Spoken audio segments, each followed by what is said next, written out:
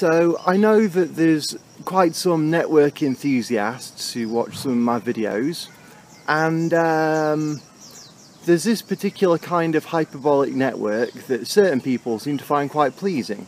If I give a full rotation of it, you'll see how it kind of spirals in upon itself. So what I'm going to do is I'm going to give you the chance to get one of these, or something very similar to this, for free. And it's a competition. So the first person that succeeds, I will if you give me your address, I will 3D print and post you a hyperbolic network of this sort of type. Okay? So the contest is to find, using an online app, as I shall explain, it's something that anyone with an internet connection and a good browser can do. Um, you have to find three different rules that make networks like this and I shall explain all that in a second but if you follow these rules you too can be the proud owner of one of these curly self-intersecting hyperbolic networks with all of their wondrous loveliness. So um, good luck.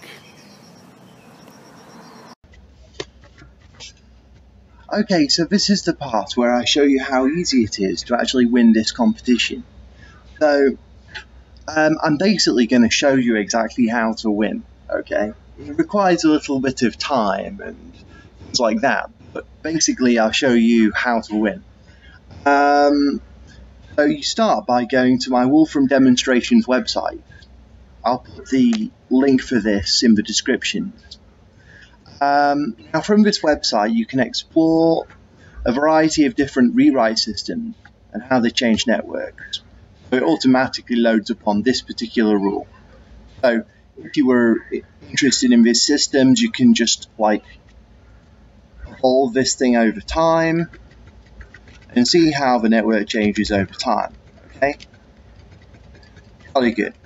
Um, we're interested in winning the competition, right? So what we want to do is not look at how one rule changes with time, we want to show how we want to look at how the structure changes with the rule.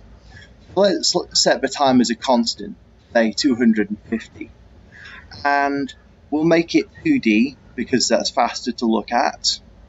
And let's we've got to press this slow down button about 100 times because it's based on Mathematica, and if we don't do this, then um, Mathematica will just go way too fast because there's so many rules in here. Anyway, there we are. You see it just evolving through and showing us pictures of all the different rules. Oh, and did you see that? My god. So just then, we just found one. It's truly fortuitous. This honestly wasn't planned. It turns out that it's exactly the kind of thing we're looking for right here. You see? you see that this is similar to the network I showed you before. Let's um, put it in 3D. Okay, we'll evolve it for some more time steps. Right, so it has all the characteristics that we're looking for. It has, let's rotate it around a bit. You see, it's very, very similar. I'm hoping I've got this far enough down for people to actually see. Um, it's very, very similar to the model I showed you. It has this kind of bunching up around the outsides.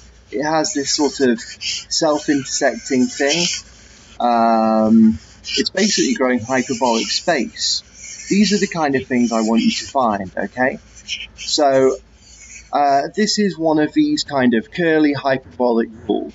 Now, excuse me for not being too scientifically rigorous. I know normally in a contest one should specify exactly and precisely what, what ought to be sought out.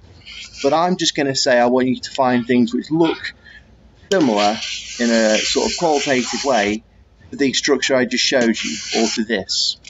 Um, and once you've done that, you just write down the rule, what in this case, one 64580, write down that rule, a notepad or something, and keep searching.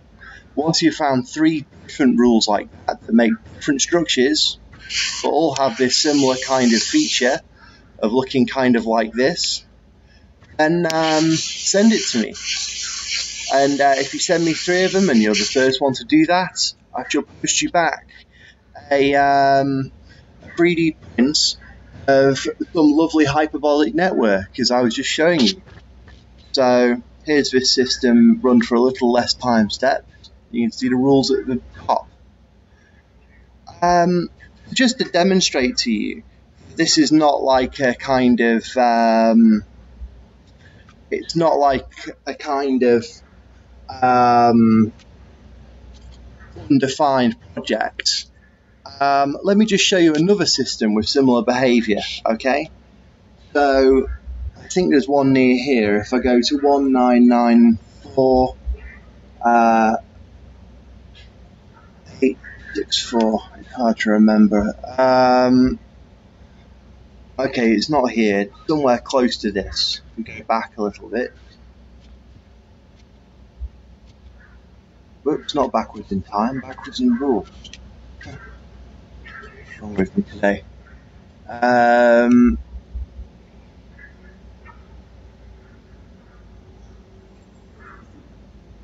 come on, I know you're out there.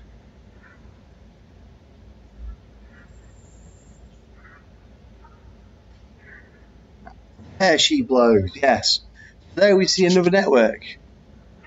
Okay, one forwards again. This is another one. It's, um, you know, it's similar, not identical, but it has similar properties.